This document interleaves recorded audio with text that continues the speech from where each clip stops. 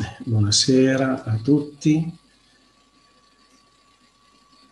Siamo alla seconda sera di, della nostra novena di Natale, seconda perché ieri sera ci siamo interrotti per ascoltare l'arcivescovo nella celebrazione penitenziale.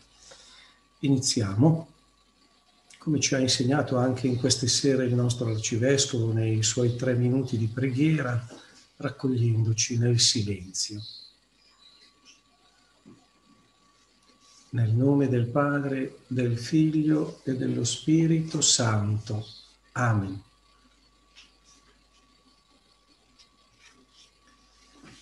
Padre nostro, che sei nei cieli, sia santificato il tuo nome, venga il tuo regno, sia fatta la tua volontà, come in cielo, così in terra. Dacci oggi il nostro pane quotidiano e rimetti a noi i nostri debiti, come anche noi li rimettiamo ai nostri debitori, e non ci indurre in tentazione, ma liberaci dal male. Amen. Seconda sera. Fare la novena è un po' come fare un viaggio verso Betlemme, accompagnati da tanti personaggi, che si avviano alla capanna di Betlemme. Alcuni sono i personaggi che ritroviamo nel presepio, altri sono personaggi che non troviamo nel presepio, ma che troviamo nei racconti dei Vangeli. Ecco, il personaggio su cui vogliamo fermare l'attenzione questa sera è Santa Elisabetta. Di lei si parla nel Vangelo, di lei si parla nel, dal momento in cui Maria va a visitarla. Elisabetta è la cugina di Maria. Elisabetta è la mamma di Giovanni Battista, l'ultimo dei grandi profeti. E allora questa sera, in un certo senso, entriamo insieme con Maria, che ha in grembo il Signore Gesù, entriamo con la Vergine Maria nella casa di Elisabetta, per poi chiedere a lei come possiamo accogliere il Signore Gesù che viene a visitarci anche nella nostra casa. Ascoltiamo un brano di Vangelo che ci parla di Elisabetta.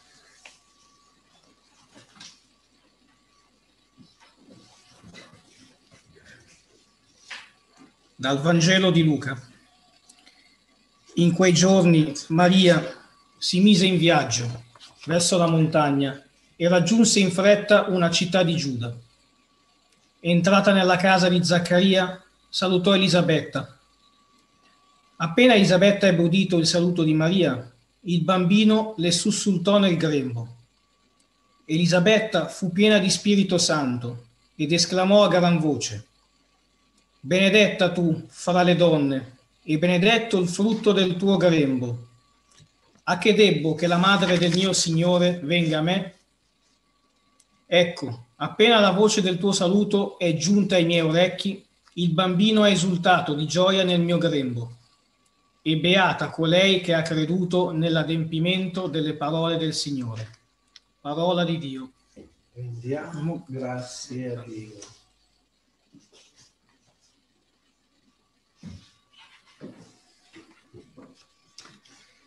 Nel brano che abbiamo ascoltato, Elisabetta riceve la visita di Maria e insieme con Maria riceve anche la visita di Gesù, quel bimbo che Maria porta nel suo grembo. Ecco, stasera ci facciamo una domanda, anzi la facciamo ad Elisabetta. Elisabetta, come possiamo imparare a ricevere il dono che è Gesù nel prossimo Natale? Elisabetta penso che ci risponda in questi modi. La prima cosa che ci insegna nel, per ricevere il dono che è Gesù, la prima cosa che ci insegna è la meraviglia, è lo stupore. È perché il dono di Gesù è un dono sempre nuovo, è un dono che continuamente si rinnova, Forse noi ci siamo abituati al Natale a ricevere questo dono che è il Signore Gesù.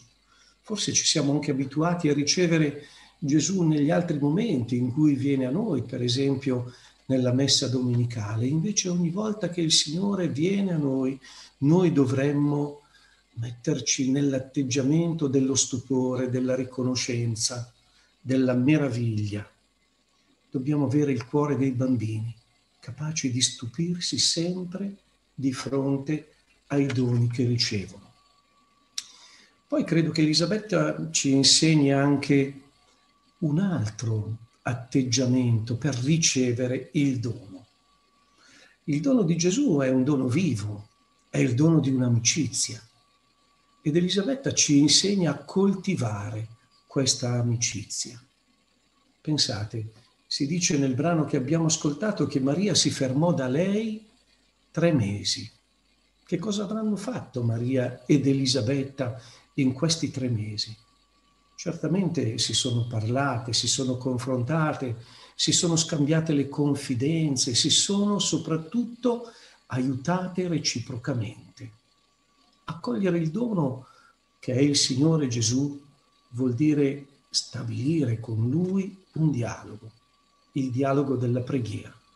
Accogliere il dono vuol dire imparare a, da Gesù a metterci a servizio degli altri proprio come hanno fatto Elisabetta e Maria nel loro servizio reciproco. E poi ancora, si dice che quando Elisabetta ha ricevuto la visita di Maria, il bambino le sussultò nel grembo. Ecco, ricevere il dono ci deve riempire di grande gioia, non la gioia che passa in un momento, ma la gioia di sapere che Dio è con noi e che ci accompagna ogni giorno della nostra vita. Il Natale sarà vero se nei giorni seguenti al Natale noi custodiremo la gioia dell'incontro con il Signore Gesù. E poi ancora, Elisabetta, accogliendo il dono della visita di Gesù, si è riconosciuta essa stessa madre di Giovanni Battista. Ecco, ricevere il dono di Gesù vuol dire imparare a nostra volta a generare vita nuova, a generare una vita buona per ogni persona che incontriamo. Dobbiamo diventare capaci di generare vita nuova e vita buona intorno a noi. Elisabetta. Che cosa allora ci insegni? Ci insegni lo stupore e la meraviglia dei bambini, ci insegni la fedeltà nel dialogo che è di, delle persone grandi, delle persone mature, ci insegni la bellezza e la gioia dello stare con il Signore Gesù, ci insegni a diventare a nostra volta capaci di generare vita nuova. Grazie Elisabetta per questi tuoi insegnamenti. La tua, la tua gioia e la gioia di Maria poi si sono espresse nella preghiera. E anche noi questa sera, come la prima sera, come nelle prossime sere, come vi abbiamo invitato a fare durante il tempo dell'avvento, vogliamo concludere questo momento con la preghiera, la preghiera dell'Angelus, la preghiera di chi è visitato dall'angelo del Signore, riceve una parola che è una parola di vita. Preghiamo insieme. L'angelo del Signore portò l'annuncio a Maria ed ella concepì per opera dello Spirito Santo. Ave o Maria, piena di grazia, il Signore è con te. Tu sei benedetta fra le donne e benedetto il frutto del tuo seno, Gesù. Santa Maria, Madre di Dio, prega per noi peccatori, adesso e nell'ora della nostra morte. Amen. Ecco, sono la serva del Signore avvenga in me secondo la tua parola. Ave Maria, piena di grazia, il Signore è con te. Tu sei benedetta fra le donne e benedetto è il frutto del tuo seno, Gesù. Santa Maria, Madre di Dio, prega per noi peccatori, adesso e nell'ora della nostra morte. Amen.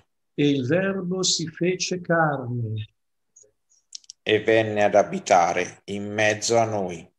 Ave Maria, piena di grazia, il Signore è con te. Tu sei benedetta fra le donne e benedetto il frutto del tuo seno, Gesù. Santa Maria, Madre di Dio, prega per noi peccatori, adesso e nell'ora della nostra morte. Amen. Prega per noi, Santa Madre di Dio. Perché siamo fatti degni delle promesse di Cristo. Preghiamo.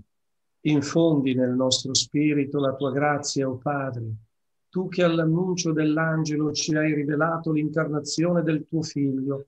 Per la sua passione e la sua croce guidaci alla gloria della risurrezione per Cristo nostro Signore. Amen. Gloria al Padre, al Figlio e allo Spirito Santo. Come era nel principio, ora e sempre, nei secoli dei secoli. Amen. Gloria al Padre, al Figlio e allo Spirito Santo. Come era nel principio, ora e sempre, nei secoli dei secoli. Amen. Gloria al Padre, al Figlio e allo Spirito Santo. Come era nel principio, ora e sempre, nei secoli dei secoli. Amen. Per tutti i nostri defunti, l'eterno riposo, dona loro, Signore, e splenda ad essi la luce perpetua, riposino in pace. Amen. Amen. E affidiamo questa notte anche all'angelo custode. Angelo di Dio che sei mio custode, illumina, custodisci, reggi, governa me, che ti fui affidato dalla pietà celeste. Amen. Invochiamo la benedizione del Signore. Il Signore sia con voi con il tuo spirito. Kyrie eleison, Kyrie eleison, Kyrie eleison. Ci benedica Dio Onnipotente, Padre e Figlio e Spirito Santo. Amen. Amen. Andiamo in pace. Nel nome di Cristo. Buonanotte a tutti.